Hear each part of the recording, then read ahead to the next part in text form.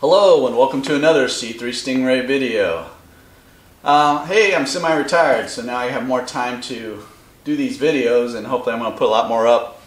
Still, still don't feel like I have any time, but anyway, you can see this, um, the 75 wide body still sitting here and I have an 05 Jaguar over there that's in pieces that I hope is going to run one day. But today we're talking about the 2000 Corvette and I sold my Camaro, so this car has become my daily driver. And I was going into town, everything was working fine. On the way back, suddenly I had no signal lights. And when I got home, I found out I had no brake lights. And basically, I had zero lights in the back altogether. So I had to figure out this problem. So that's what this video concerns. And we're going to go over fuses, we're going to go over grounds, we're going to go over the replacing that hazard switch, actually taking the hazard switch out, testing it, see if that's your problem, and putting it back in. And we're also going to take a look at the brake light switch. So this video covers quite a bit actually. So if you're having any problems with your rear lights, this is a pretty good video to watch. So let's check it out. So to start out, we're going to get the multimeter out and we're going to check the ohms on the fuses. Um, this is my new multimeter. This one's pretty nice. It can actually makes a sound when things are good. But otherwise, you just want to check your fuse to make sure it zeroes out and you have a good fuse. But I'm going to do it in the actual fuse box itself because I don't have to remove each fuse separately and do it. So this will be a lot quicker. So we just go on your passenger side and pull out, pull out your floor mat and then remove that panel. To get to the fuse box itself, you'll have to remove that fuse box cover. And we can check three fuses. Now, the fuses we're going to check are the number 6 parking lamps and tail lamps, the number 8 the stop hazard flashers, and the number 15 the hazard turn signal. Now checking them in the car, this is a lot easier. All you have to do is touch each side of the fuse and I'll show you a close-up of this. It's kind of hard to see. You can see you're just touching each side of the fuse and making sure that the fuse is good. You know, with mine it's making a signal. With yours, if you don't have that, you just want to make sure it zeroes out.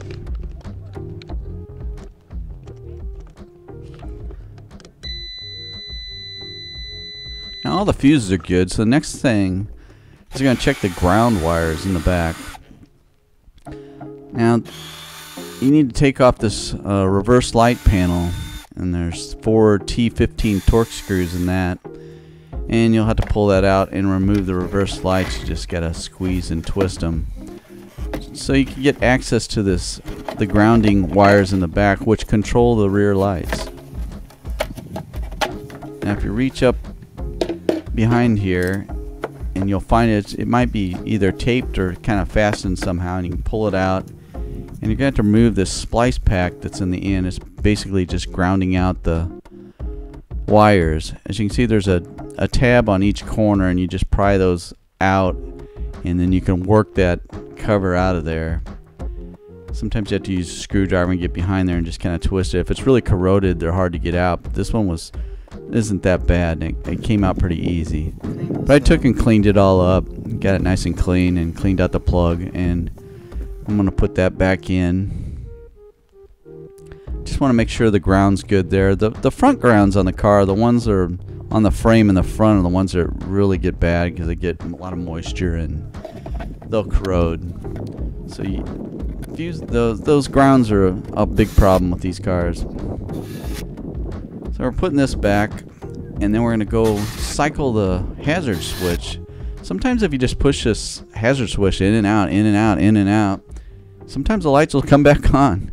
It doesn't always work, but it's worth a shot. Probably should have did that before we did the other things, but now we're to the point where we're going to have to take that hazard switch out. So you want to pop that or the catch release and fog light switch there. You pop that out, take that out, and there's a T15 screw in there.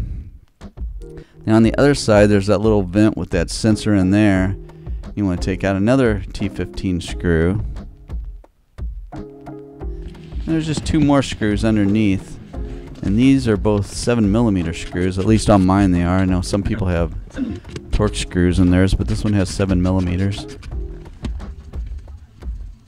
And once you get those screws out, you kind of have to grab and pull. I mean, it's kind of stuck in there, so you have to give it a little, a little force to try to get her out of there.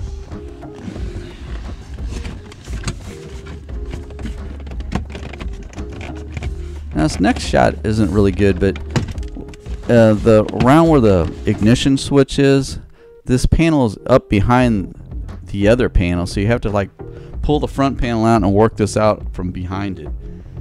And then, as you can see, it's like stuck here too. I had to pull it out there, but we still have that sensor plug. You got to unplug that, and then this whole panel will come out then. Now that we have that out, we're going to try to take this hazard switch out. First we got to take that cover off, which I just have a little hook there that I'm like getting behind it and just kind of easily massaging it out of there and it, it'll pop. You don't want to be too forceful with it, but it, it'll come out fairly easy. And now we got to get this hazard switch out.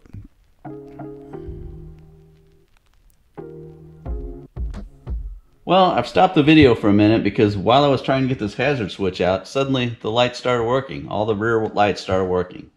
Now, I'm sure most of you are thinking, well, your hazard switch is bad and it just kind of got jiggled around and started working again. But the problem is, is the center tail light is not wired through the hazard switch. If your hazard switch is out, your center tail light would still work.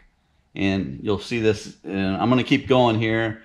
I'm going to go ahead and take this out and still show you everything how how everything works here. Putting the taking the hazard switch out and putting it in, and we're going to take a look at the brake switch. But I'm also going to show you a way to test your hazard switch, and that'll show that even if your hazard switch is out, the rear light is still going to work. But let's just continue on, even though this mysteriously fixed itself. Now, getting this hazard switch out was no easy task. I can tell you that right now. Um, as you can see, there's two little tabs on each side of the switch that have to be pushed in in order to break it loose to get it out of there. Let's look at this next photo. It shows how it's actually sitting in the car. So you have to, there's a top one and a bottom one. You have to push them in in order to get it out. Now, I worked on this for a while and I almost gave up. I mean, I was getting really fed up. And I finally figured out if I took my thumb and pushed up on the back from the back side and then put the screwdriver, small screwdriver on the top and pushed down, I kept working that and it finally popped loose. And I mean, it basically fell out of there then once that popped loose. But I almost gave up. I almost took out the radio and everything so I could at least see that bottom tab. But yeah, I worked it for a while and it finally came loose. And yours may or may not come out easily. Yeah, I guess you'll find out. But this one was pretty difficult. But once I got it out and then you got your hand on the wire, you can pull it down behind the dash and out and you can see it here. You can see the tabs. And mine was in there solid. Some people say they just push theirs out with their thumb but mine was in there really solid. It wasn't going anywhere. I'm disconnecting the wire now getting the hazard switch off completely so we can do this little test here. Now without the hazard switch on here's a one last look at the switch. Without this hazard switch on you can hit the brakes and see how the center light comes on? I had no lights before as the center light comes on. It will work without your hazard switch in there. But now we're going to check if your hazard switch is bad. You can put a jumper between that white and brown wire. I used a paper clip and stuck it in there. And then if you hit your brakes and your brake lights come on, that means your hazard switch was bad. If your brake lights didn't come on when the hazard switch was plugged in, but they come on when you do this jumper, then it means your hazard switch is bad because that jumper is bypassing the hazard switch. Now there I put the switch back in. I just took my hand, put it up behind the dash, kind of lined it up and pushed it right into place. Some people act like you have to use long needle nose pliers to get in there and grab it, but getting it in took a second. Getting it out was a pain. Now we're going to take a look at the brake switch. And you have one more panel down here. It's only held in there with two push pins, and underneath that is your brake switch.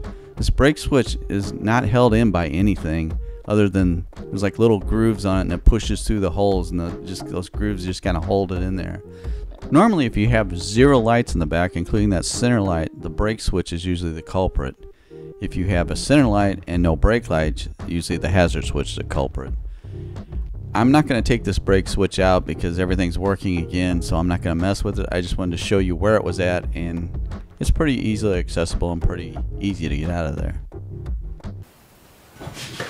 Well, this video didn't go exactly how I wanted it to. All I did was clean some grounds, move some stuff around, and suddenly they start working. I would much rather have changed a part known this was a problem other than I'm not sure what happened, but these C5 Corvettes are like that. Sometimes you just hit them on the dash and suddenly things start working. And you either cross your fingers and hope that's it, or you keep working on stuff. But I'm just going to let it go. Um, I'll just cross that bridge when I get there if it happens again. And I really thought I was going to have to change the brake light switch, and I'm still kind of wondering if that might be the issue, but it's working now, so we'll see what happens. Uh, hopefully you liked this video and you got some information that you needed, because I mean there's a lot of information there to find out why your brake lights and your rear lights aren't working. So hopefully you get some information there, and if you liked it, please subscribe. Please hit the notification button, hit the like button, and if you need any parts for your C3, C4, C5 Corvette, go to my website at c3stingray.com. And next time I'm putting up, I also have an issue with this car when you put the key in and you go to start it and then this light comes on, the steering wheel locks and it says pull the key and wait 10 seconds and then restart the car. I'm getting that now suddenly. I just started last week too. So I'm going to show you how to fix that next week and that'll be a little bit more in-depth video. So hopefully you can tune in make sure you, like I said, subscribe, hit that notification button, the like button, and I'm done talking. I'll see you on the road.